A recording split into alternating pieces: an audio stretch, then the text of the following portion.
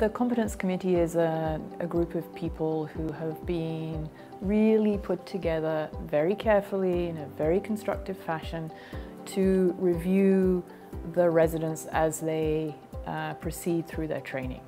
And from a CBME point of view, which is very different from where we used to be, it's a continuum and it's a spectrum. And it's going to be imperative for those members of the competence committee to really have a good understanding of the process by which the resident is training in now. So the EPAs, the milestones that they meet, and that this is a, a competence to practice.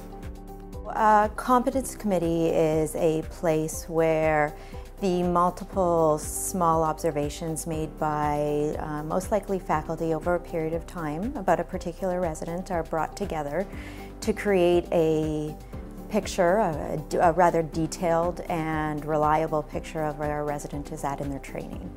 So what will change the most from a competence perspective is that we will now be working within the uh, National Competence Framework, which will involve a measure of EPAs and milestones.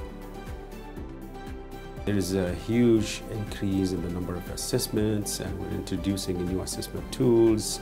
So it makes more sense to have a specific body or structure who can look after all of those uh, assessment, new assessments. Having this closed loop will allow us also to identify people who are struggling in the training very early and people in medical education know exactly how important it is, trying to improve things early on.